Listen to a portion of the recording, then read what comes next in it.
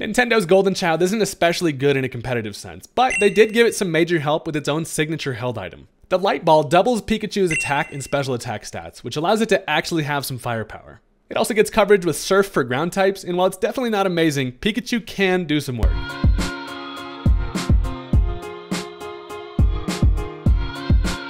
Ladies and gentlemen, what is happening? Welcome back to another Scarlet and Violet Wi-Fi battle. Hey, if you're new to the channel, consider hitting that subscribe button. It really helps out and it only takes you a second. It's a win-win situation. Let's go ahead and jump into the match. All right, so my opponent is going to go ahead and toss out the Toaster Rotom, and I decide to lead off with the floppiest boy in town.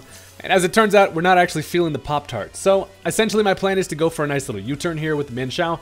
Being Trace Scarf, I can even outspeed Scarf Rotom, so that is fine with me. I go for that U-turn. This allows me to pivot into something that can better handle uh, the, the Rotom heat. A lot of the time you see these things, they're going to be running stuff like Trick, uh, it could be defensive with Will-O-Wisp. Overall, I'm just going to go right into Pikachu. Picasso comes out here, ready to do some painting, and they actually end up going for that Volt Switch, which is amazing. Activates the Lightning Rod, gives me a nice little special attack boost, and uh, Pikachu is out here actually surviving a switch in. So here's the thing, with that special attack boost, a Surf actually kills the Rotom, but they're going to end up switching out into their best check to this thing, which is going to be the Clodsire. So I'd say like 90% of the time you see a Clodsire, it's not actually going to be running its water absorb ability, which is why I feel comfortable going for that Surf. Uh, it does a nice little chunk here, and yeah, that tells me it is going to be an unaware Clodsire. So sadly, we don't actually get the benefit from the plus one special attack here because of its ability. It ignores the stat changes essentially, but my plan is just to go for another Surf. Now, I know that this thing is probably just going to go for a Stealth Rock, likely expect me to switch out,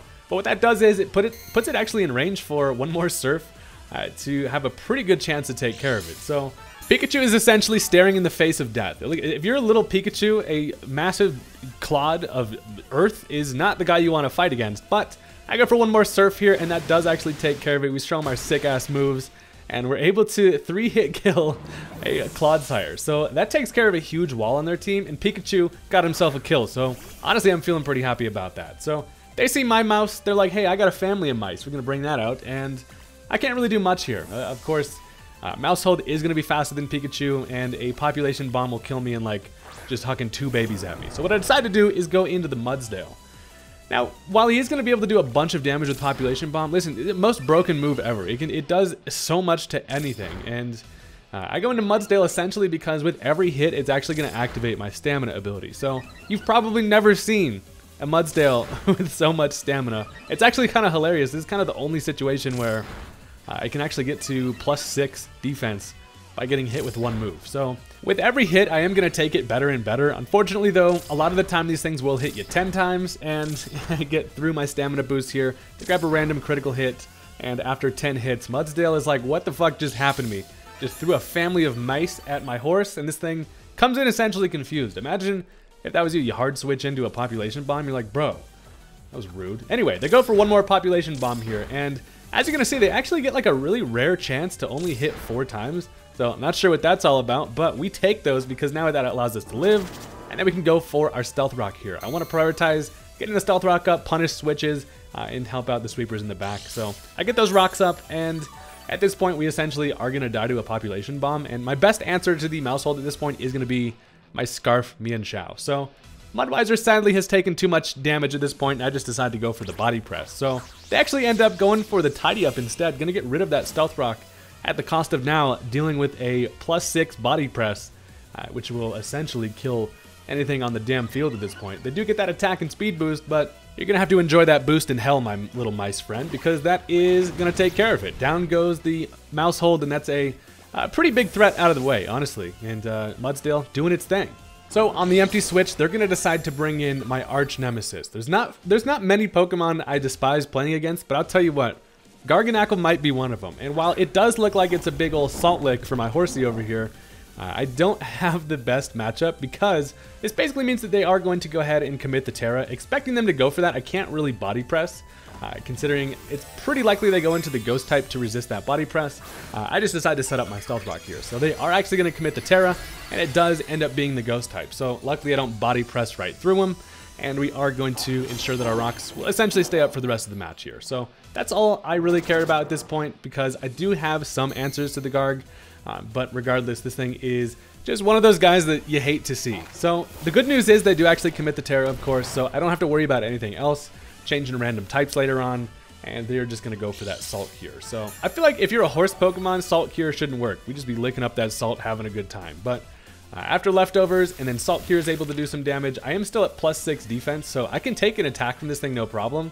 Uh, the deal is, I just can't really hit it that hard in return. But my plan is to leave Mudsdale in here, do as much chip to this thing as possible, uh, and then once I die to either them going for an attack or that Salt Cure, I can bring in a better answer and hopefully have it chip to a range where I can take care of it. But then we see it goes for the Iron Defense, and that just makes this thing even more annoying because now uh, its physical defense is honestly insane. And Salt Cure not quite going to be able to take me out. It looks like there's even one more turn here. So at this point, I have nothing really to lose by just leaving Mudsdale in here, getting some damage, trying to chip it. it Mudsdale's not going to be of much value to me uh, at this amount of health, and it's just slow. So I really just need this thing taken care of so I can get a nice little uh, revenge switch in. However, they go for that Salt Cure. It basically heals me because my defense is absolutely nuts. And we take another Salt Cure recoil where it looks like next turn we will go down. So I go for another Earthquake here, try to roll that crit chance through the Iron Defense. However, uh, it does not happen and they get another Iron Defense up. So this thing is now sitting at plus 4 physical defense with a crazy ass ghost on his head looking like a Minecraft dummy. And actually after leftovers, I think I do in fact even take one more turn of the Salt Cure. So I've gotten myself in a shit situation here against the the Pokemon that I hate playing against, and I have no reason to just switch here. So I go for another EQ. Uh, I'm thinking at least if I can get it below half, even a recover, it's going to still have some chip, but it does go for that recover, annoyingly. I could have, actually probably would have been a smarter play to just predict that and then go for a switch, but again, it doesn't really matter. Mudsdale would have been a Death Fodder switch in, potentially. Uh, but finally, the Salt Cure is going to take care of the Mudsdale, and we can figure out what we want to do against this thing. So, of course, it has more goddamn physical defense than the Earth at this point, and I cannot hit it on the physical side. So my initial plan was to go into Pikachu and try to finish it off with a Thunderbolt, but it has just a bit too much health at this point to be able to get knocked out from that. So my plan is instead to go into the Hisuian Braviary. Now, I know I take a lot of damage from the initial Salt Cure, but what I can do with this thing is potentially get an Esper Wing, see how much damage we're working with, and then potentially start to set up some Calm Minds. And with the access to the recovery in the form of Roost, I can probably win uh, this battle in the long run, as long as it didn't have rock coverage, which it goes for that Salt Cure, um, and it, does, it knocks me down to near half after the, the continual damage, which is honestly fine. So at this point, I go for another Esper Wing here, but they're actually going to end up just switching out. I, I really was just trying to get this thing in range to where Pikachu can knock it out, but they make a smart move and go into the Kingambit. But I did actually get that Garganacl to around half to where Pikachu actually does finish it with the Thunderbolt, so of course, the Esper Wing does not affect the dark type that is Kingambit, and this thing is a real pain. Listen, anytime you're working with Hisuian Braviary, uh, it is unfortunate being weak to both knockoff and sucker punch. So we find ourselves in a bit of a pickle against the Kingambit. And when you're sitting in this situation, it's almost guaranteed that they're going to try to set up some uh, Swords Dance or something like that. So I predict the Swords Dance. I'm actually just going to go right into Mienshao. And if they do Swords Dance, I can then close combat it in return. They've used their Tera already, so I don't have to worry about it changing types. And after a plus two, it's pretty much a roll, or at least a pretty a good chance that I take a Sucker Punch here. So they do go for that Swords Dance. I come in here safely, and I go for that close combat here. Sucker Punch knocks me down to 12, which is insane. And luckily that allows us to beat the devil out of him, and a close combat does knock it out. So that's honestly a huge threat out of the way, and luckily uh, the switch into the Swords Dance did allow me to have enough health to barely live a Sucker Punch. So uh, they're going to go back into the Garg. Now, this thing is, again, just being a McAsshole because I can't close combat it. They know that I'm Scarf, and it's obviously Ghost. So I decided to just go right back into Braviary, uh, essentially as a sack play here. Uh, this thing doesn't seem to have a whole lot of value for the remainder of the match here, so I go into the Braviary, um, looking badass at least, as they actually just end up going for a recover. I was really, you know, hoping they would potentially just finish off the little threat that's in front of them, but, you know, they recover again, and god damn it, this thing just never dies. So I go for another Esper Wing here that is going to knock it, you know, below half, and it's actually just to go for another recover. This dude seriously wants to see the world burn. I I cannot fathom that just sitting, okay, they did the recover again, and I'm just going to Esper Wing. All I need to do is get this thing to the point where Pikachu can knock it out. Um, because I do want to hit it on the special side. So finally, they do just go for another Salt Cure here that is going to not quite knock me out, but the residual is going to finish off the Braviary, which is honestly exactly the situation I needed to be in here. I've got this thing weakened, Braviary does go down. Now I get myself a free switch. And it is finally time for the absolute GOAT once again to prove that, hey, I do have some competitive viability. We bring in Light Bulb Pikachu, and they do not have a lot of switch-ins. Of course, they've taken care of the Clodsire. And as much as I would absolutely love to go for a Trailblaze here, I instead am going to go for that Tera Electric Thunderbolt just to guarantee that this knocks this thing out. The Garg is not going to annoy us any longer, and uh, Pikachu is going to go ahead and put the light bulb on his head, looking goofy as hell, but uh, that's gonna it's gonna be able to finish it off. So Pikachu grabs his second kill of the game, and the reason why I would want to go for that Trailblaze is if I'm able to get up a Trailblaze and they don't actually have Earthquake for coverage, uh, I'm the fastest Mon on either side, and I can do huge damage with both Surf and Thunderbolt to what they have left. But I figure it's more in my best interest to just go for that uh, Thunderbolt, finish off the defensive monster, and now they get the free switch back into the Rotom. So I'm just going to go for the Surf. Uh, the only thing that actually knocks me out here is Overheat, and they are going to go for it. So that definitely OHKOs me. Listen, you breathe on Pikachu, it's it's gonna die. So that does like 500% to me. And sadly, Pikachu does go down, but not before we made a difference in the match. And that's all that counts, baby. Pikachu is uh, not great, but fun to use. So uh, now this thing's sitting at minus two special attacks. So I'm thinking, hold on, I have a win condition in the form of Venomoth. I actually have a few, but I would like Venomoth to try to make it happen here. So the plan is, I go for a Quiver Dance, live a minus two overheat. It does like 85%.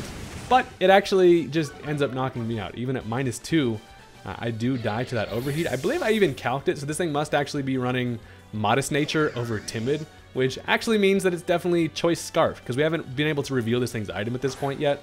Uh, so the only way that knocks me out is Modest, and you know it is. So I tried the Venomoth, it didn't end up working, and now I can go into the Snorlax.